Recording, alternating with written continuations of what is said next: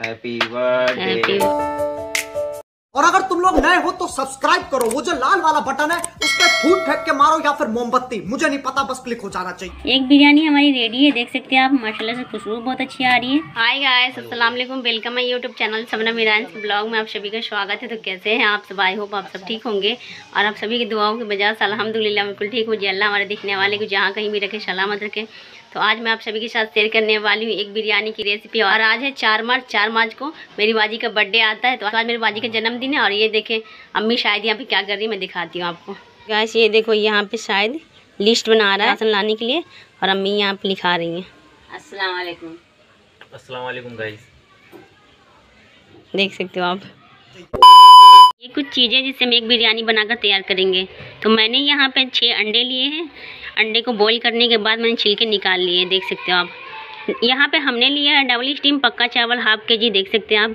चावल को मैंने एक घंटे पहले पानी में भिगो के रखी थी। यहाँ पे हमने लिया है तीन मीडियम साइज़ के प्याज। प्याज को हमने स्लाइस कर लिया है। छः साथ हरी मिर्च ली। मिर्च में इस तरीके से चीरा लगा लिया है हमने। दो चम्मच दही लिया है हमने। दो मीडियम साइज़ के टमाटर का पेस्ट तैयार कर लिया है हमने। दो चम्मच लहसुन अदरक का पेस्ट, नमक स्वाद अनुसार, एक टीस्पून जीरा पाउडर, दो टीस्पून लाल मिर्च पाउडर टीस्पून धनिया पाउडर, हाफ़ टी स्पून काली मिर्च पाउडर, दो टीस्पून बिरयानी मसाला पाउडर, चार लौंग लिया है हमने, दो तेज पत्ते लिया है हमने, दो बड़ी इलायची, दो छोटी इलायची, जावित्री का फूल स्पून जीरा, थोड़े से साबुत काली मिर्च, एक दालचीनी का टुकड़ा लिया है हमने, देख सकते हैं आप। पतीले में रिफाइंड ऑयल शामिल करेंगे।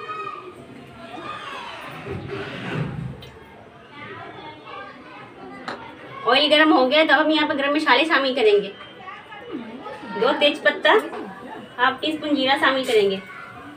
एक छोटी इलायची शामिल करेंगे, एक बड़ी इलायची शामिल करेंगे, दो लौंग शामिल करेंगे। मसाले को हल्का सा चटक जाने का इंतज़ार करेंगे। मसाले चटक गए तब यहाँ पे हम चावल शामिल करेंगे।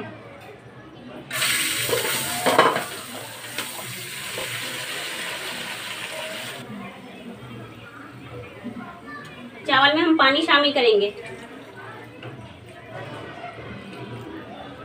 यहाँ पे हम नमक शामिल करेंगे। चावल को एक बार चम्मच चला देंगे। पानी चावल से एक इंच ऊपर होना चाहिए, इस तरीके से हम चम्मच को चावल के ऊपर रख कर देखेंगे। देखें। नमक टेस्ट कर लेंगे हम।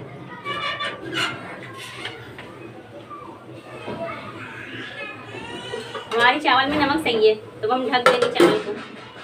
कढ़ाई में रिफाइंड ऑयल हमने शामिल कर दिया रिफाइंड ऑयल गर्म हो गया है, तब हम यहाँ पर अंडे फ्राई करेंगे।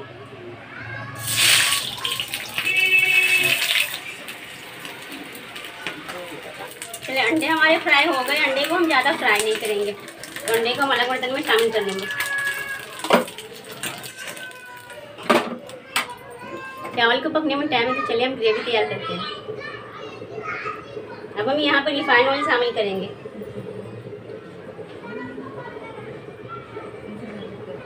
तेल गर्म हो गया, तब हम प्याज शामिल करेंगे। प्याज को हम लाइट गोल्डन करके फ्राई करेंगे। प्याज लाइट गोल्डन हो गया तो प्याज को हम अलग बर्तन में शामिल कर लेंगे। थोड़ी सी प्याज हम इसमें ही रहने देंगे। यहाँ पे हम हाफ़ टी स्पून साबुत जीरा शामिल करेंगे। दालचीनी का टुकड़ा, एक छोटी इलायची थोड़ी सी साबुत काली मिर्च, जावित्री का एक फूल, बड़ी इलायची, और स्टार फूल, एक, दो लौंग शामिल कर देंगे। मसाले के चटक जाने का इंतज़ार करेंगे। मसाले चटक गए तो अब हम यहाँ पे दो चम्मच लहसुन अदरक का पेस्ट शामिल करेंगे। एक मिनट तक लहसुन अदरक के पेस्ट को हम भून लेंगे अच्छे से। चावल को हम एक बार देख लेंगे। देखिए, चावल हमारा खुश्क होना स्टार्ट हो गया है। चावल को हम चेक कर लेंगे। चावल हमारा हो गया है तो गैस हम बंद कर देंगे।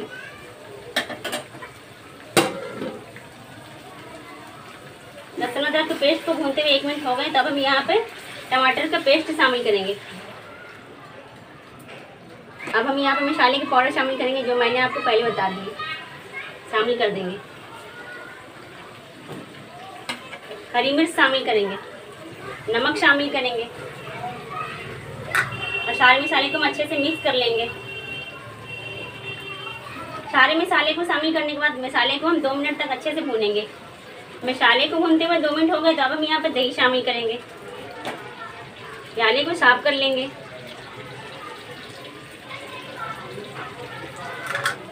एक बार फिर से हम दही को अच्छे से मसाले में मिक्स कर लेंगे। अब हम यहाँ पे थोड़े से फ्राई किए हुए प्याज शामिल करेंगे। और थोड़े से बचा लेंगे हम बिरयानी की लय लगाने में शामिल करेंगे। मसाले को अच्छे तरीके से हम पाँच से छः मिनट तक भूनेंगे। हाई फ्लेम पे। मसाले को भूनते हुए पाँच से छः मिनट हो गए तब हम यहाँ पे अंडे शामिल करेंगे।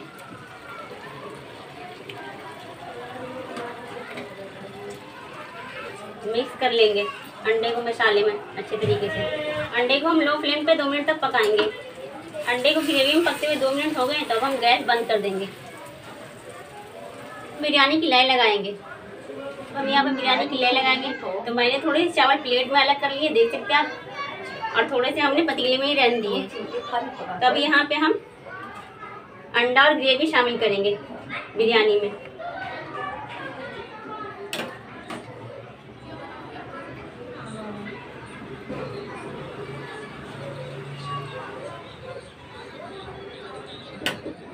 अब यहाँ पे हम रेड फ़ूड कलर शामिल करेंगे।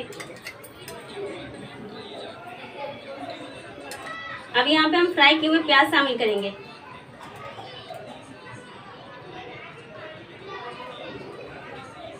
अब यहाँ पे हम चॉप किए हुए धनिया पत्ते शामिल करेंगे। अब हम ऊपर से चावल की दूसरी लेयर लगाएँगे।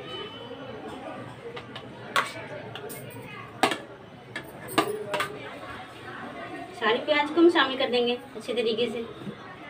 अब हम यहाँ पे धनिया पत्ते शामिल करेंगे। अल्मोनियम फॉइल से हम बिरयानी को कवर कर देंगे। अल्मोनियम फॉइल से बिरयानी को कवर करने के बाद बिरयानी को हम दम पे रखेंगे लो फ्लेम पे। पतीले के ऊपर हम वज़न वाली चीज़ रख देंगे, इससे स्टीम हमारी बाहर नहीं आएगी।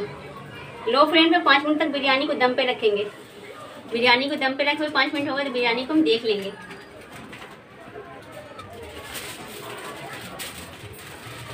देखिए, बिरयानी हमारी रेडी है।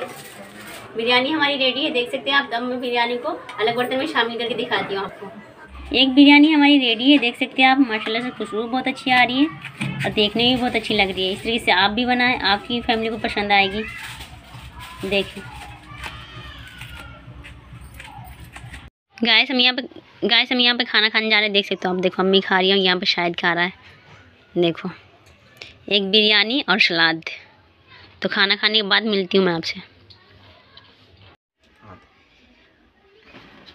Happy birthday happy birthday to you happy birthday dear आपी हैप्पी बर्थडे डियर साइन आपी वो तो मैं काट दूँगी। गाइस मैं यहाँ पे केक खाने जा रही हूँ देख सकते हो आप। खाने के बाद मिलती हूँ आपसे।